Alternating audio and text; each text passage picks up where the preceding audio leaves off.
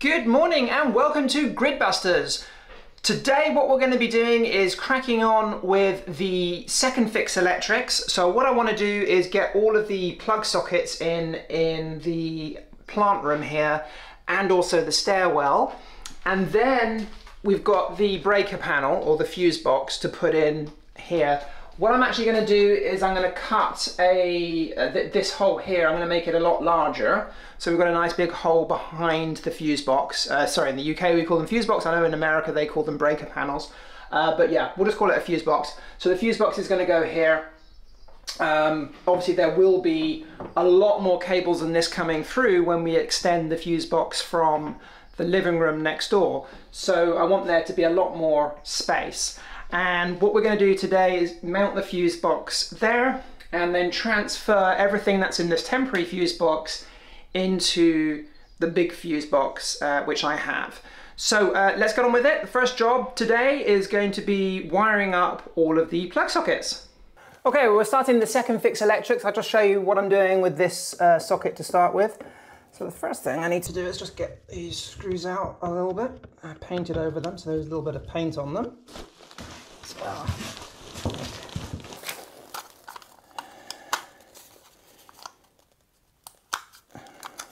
see.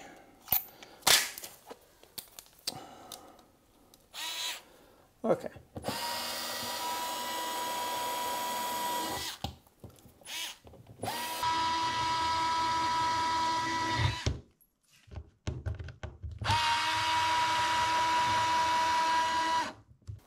Okay, so the first thing I just want to say is do not use this as an instructional video.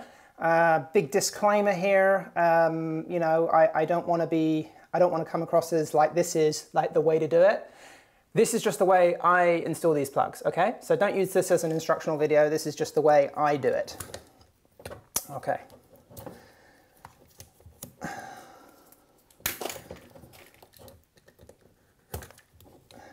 Always good idea to leave I always like to leave a little bit of slack in the wall so that if we ever need to change a socket or something in the future, um, we've got some spare cable up in there. Uh, I'm just going to snip the ends off these anyway, just to get some fresh cable. There we go, let's get these the same length actually. There we go. One little rule I always have is whenever cutting cable with a knife, I always wear heavy duty gloves. Um, so I've installed close to 100 of these sockets now in both houses. So yeah, done this a lot. So this is just the way I do it. I'm sure there's a better way of doing it, but it, you know, it works for me. Okay.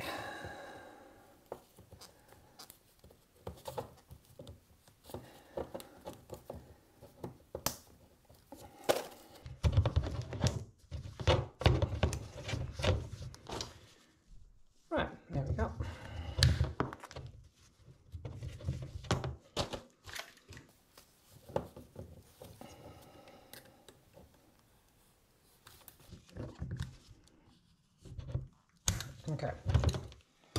So just always wear gloves for that bit because it would be so easy to cut your hand. Right.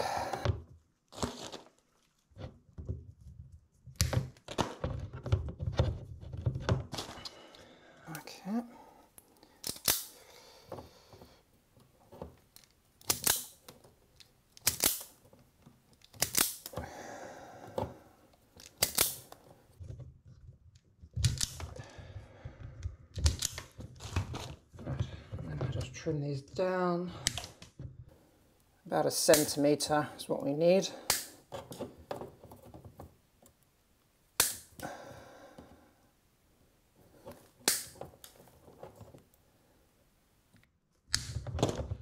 Right.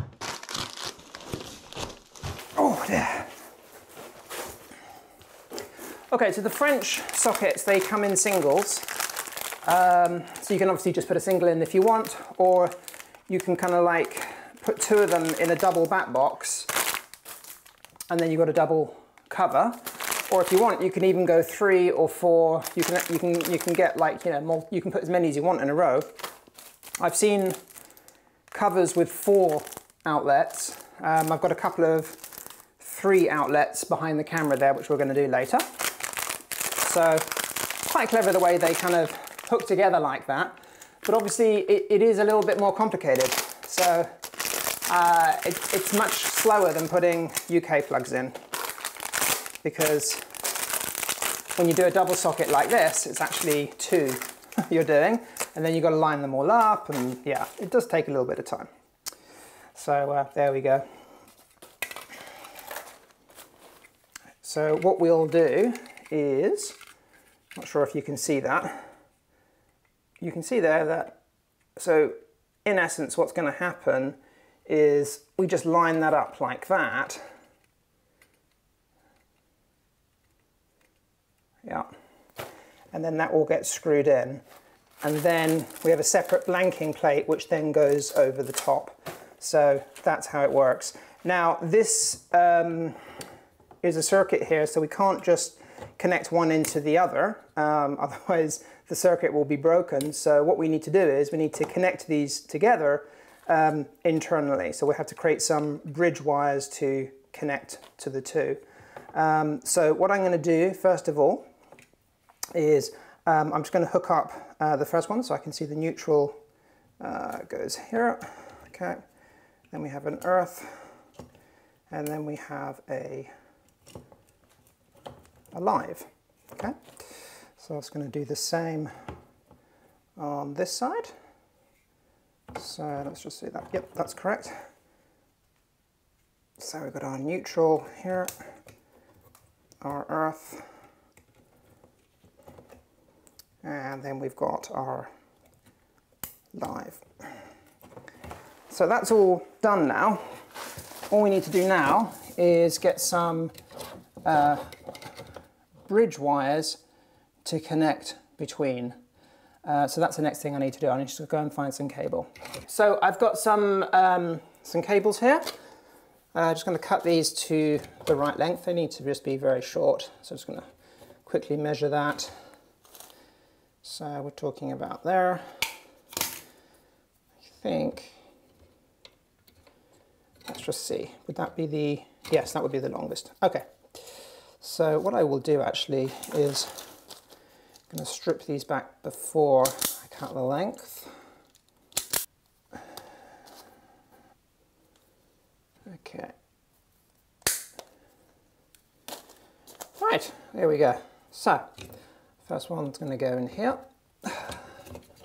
That's going to bridge over to here. Always make sure these are absolutely secure, really important.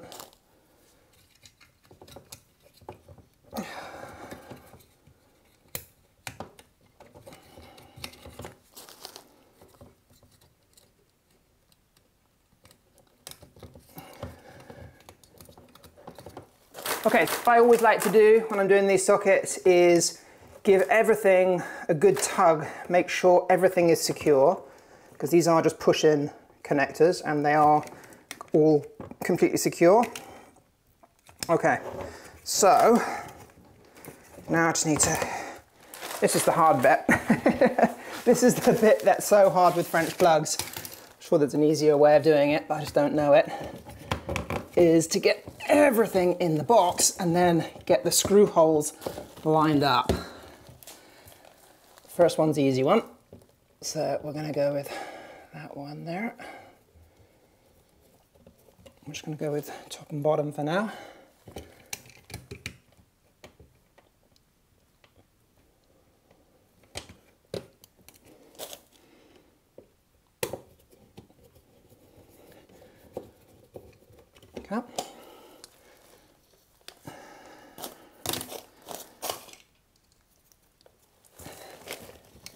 And then you've got to somehow find the screw hole on the other side, which is not easy.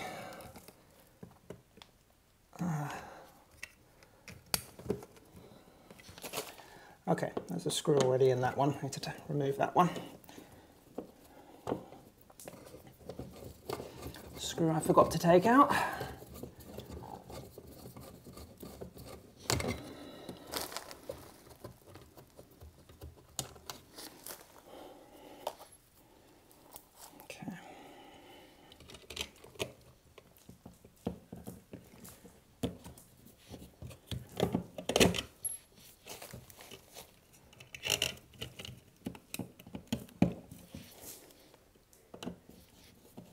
Here we go.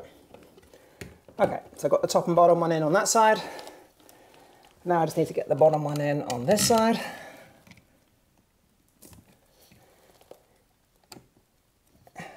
You can put the screws in a little bit first and then fish the socket in, but with all the cables connected, I find that to be very difficult to do. Okay, so I think we're there now. That was the hard bit. Okay.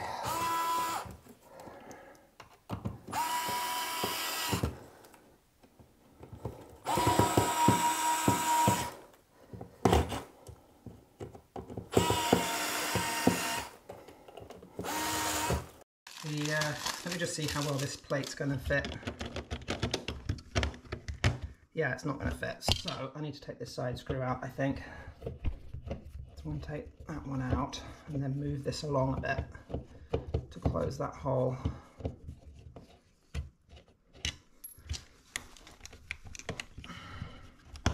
There we go. So tighten that up there, tighten that one Let's see how well that fits now. Goes that way.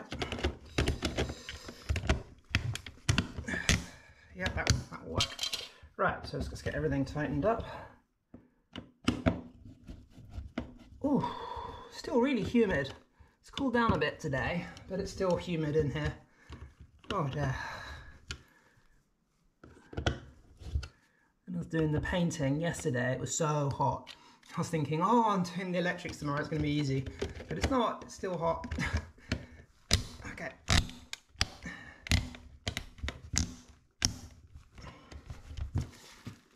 Job done.